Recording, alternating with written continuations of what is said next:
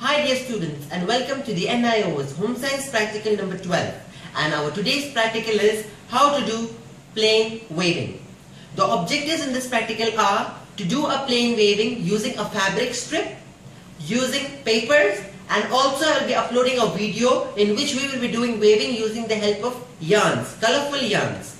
The colorful yarn practical is not included in your book so you can just use it as a reference of how waving can be done in different types of methods using different types of materials. So now let's see what are the materials are required for preparing this practical of paper and fabric waving and how do we carry forward. So the materials required for the practical are some leftover fabric which I have taken from the tailor or you can also buy it from the shop. They sell it at a very cheap price because these are the from the big lot they have have the leftover pieces. Uh, they are of different sizes so what I did is that I had my 30 centimeter long ruler, scissor, a pen or a pencil to mark your uh, dimensions. So what I did is that I had taken my piece of cloth of a different color and then measured 30 centimeter on the ruler from the point and marked it using my pen or pencil. That's how I made a square because as you know square is having all four sides equal. So all the four sides were 30 centimeter. Gave it a cut and finally had my square shaped fabric with me. The square shaped fabric is as you can see it's over here.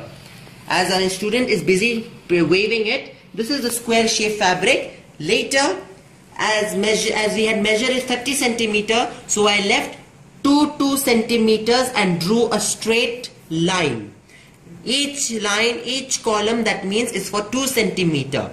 That turned out to be 15 for me okay? And then gave it a cut using the help of my scissors and they become like this. But didn't give them a complete cut. They were attached from the top.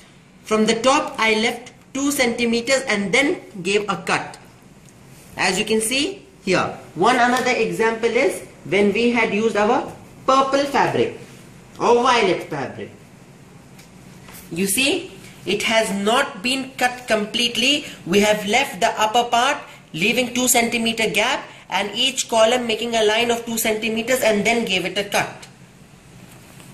Now we line it on the table and choose our corresponding color which will help us to do the waving but always make sure the darker color should be used as your background and the strip should be of a lighter color. As you can see another one of my, student doing here the darker color is brown and the lighter color is a pink. Here the darker color is orange as compared to green. Green has a lighter shade than orange. So green is being used for strips.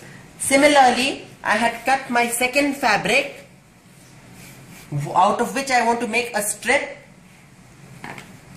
such as for example red same 30 centimeter square but this time measure it again 2 centimeter from top to bottom and then gave a complete cut and finally had my strips ready. So each strip is actually for 2 centimeter. Each strip is 2 centimeter which will be used for waving every uh, column available in your design. As you can see one method here how do can we do the waving. Or let me use a different color to show you as this is already halfway complete so I don't want to disturb it. And the student is busy. You can see here. Just line it over straightly making sure that all the parts are thorough here. These pen lines which are on top doesn't make a difference. It will give a beautiful effect also when you're doing the waving. Line it clearly and straight as if it was not cut at all.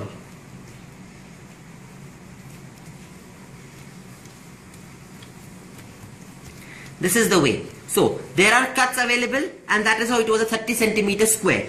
Now for my purple I am using my red strips as they as red is lighter than this violet or purple background color. So what I will do I'm taking I've taken my strip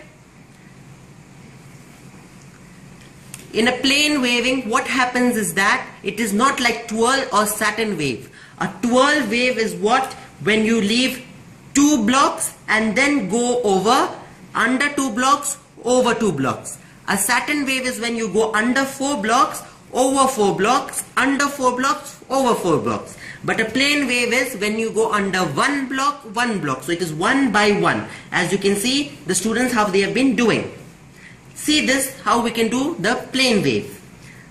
Over, or let us start with under, over, under. Now, this is a fabric which is a little bit difficult as compared to paper. What you can do is that whenever you want to give it an under effect, pull your one strip up or leave it like this one up one down one up one down. One up one down. And so on. You can do it. It will be much easier for you to push in. And it is time consuming at the same time. So what you can do is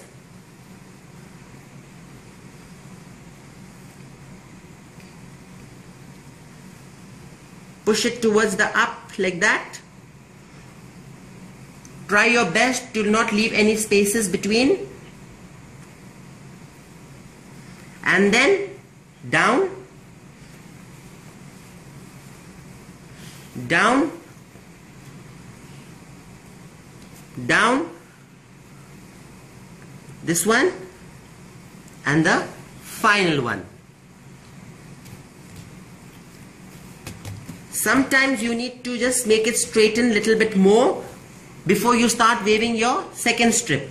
As you can see this area it has been pulled a bit from up.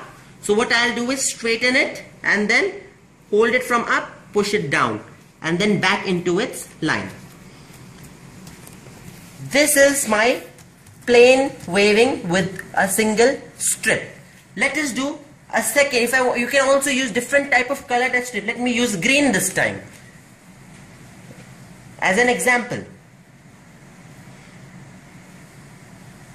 So same similarly same. But now what happened? Your first yarn has gone inside. So the second one will be on top.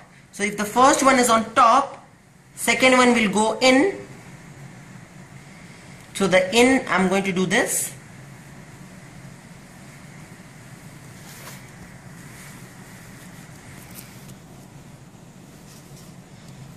and then push in your second strip.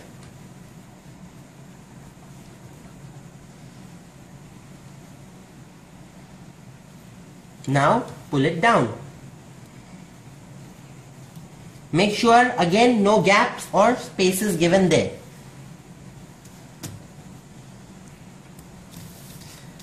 This is using your second color. Similarly let me show you how I can do it using a pink color. So dear students, you can see here, I have added my pink color strips, okay, and that is how one under, one over, one under, one over, that is how it will take place in this one, okay. As you have finally completed the full thing, as you can see here, how student, she has done completely, okay, the design and the color looks beautifully like that. You will just hold it straight and then put it over a white fabric or you can choose a different colored fabric which is like having a good contrast over your uh, waving fabric and then fold it one towards the end like this. That's one. And the side on the first part. You get a square here stitch it. Similarly you will do it here. Stitch here. Then this side stitch here and here. It will be like a square inside which you are having this. One example I have done similarly I'm sorry but I have done similarly one example in here. That is here this one. Student has completed the thing and then we have given here a stitch stitch stitch and stitch which is protecting the white fabric and it. Here you can have what you can do is you can start stitching over here because I will be using the help for machine and then giving a direct stitching here and on these sides they are also intact and rigidly strong. You can use them as a wall decoration okay? Or you can use it as a cover for your cushions and stitch it over it also. This is the method of doing a fabric plain waving. Now I will just show you how to do a paper waving. So you can see here the paper has been already waved. Same, same method the background here it was used as white right. Here we have used the background as orange. So we cut our white paper and then put the different colored strips inside. You can see here the strips has been cut as um, cream color strips and green color strips. Push through them and then the final thing was cut behind the orange. See here. You have a paper a4 size paper which has been cut into a square shape equal length. Fold it into half. After folding, you have to cut them. When you cut them, they become something like this. But they are in contact rigidly in the top and in the bottom. So they have not completely cut it. It's just like in the middle. You can see. Not cut on top and bottom, just in the middle. Okay. Through this, you can push your different colored papers. As you can see here goes in one out in out in out. That's how you can do your waving with a paper. And you can get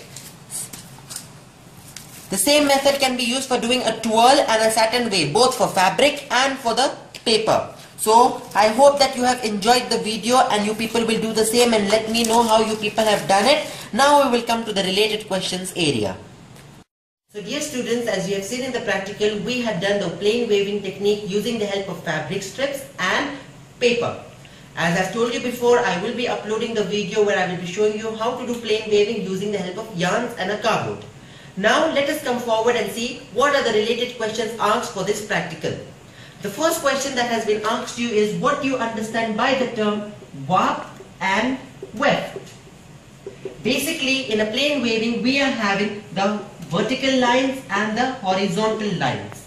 The vertical lines represent warp, while the horizontal lines represent the weft. These two lines or these two strips used in a plain waving are interlaced at 90 degree angles. I'll interlace at 90 degree angles. So we say warp and weft. Warp for vertical, weft for horizontal. Our second question. Give an example of a common fabric woven used by method of plain weaving. Very common fabric and used by our great Mahatma Gandhi ji that is khadi. Khadi is a type of cloth used during the method of uh, plain weaving. Now our question number three. What are the qualities that you look for in a good quality fabric? By knowing what the fabric is good or not, you should look at its texture. The texture, the finishing, how it is done for a fabric tells you whether it is a good quality fabric or not. These are the possible questions that you will be asked during your examinations and as you told as I told you yarn plain weaving fabric weaving and paper waving out of these three, any one can come for your exam. Even play uh, yarn weaving can also come as it is mentioned in your book using the help of a string or a wool. So string and wool weaving can also come. So please be yourself well prepared. Go through my videos. It will help you a lot for your examinations. Any questions you have, please let me know and feel please feel free to ask the questions. Thanks for watching my video.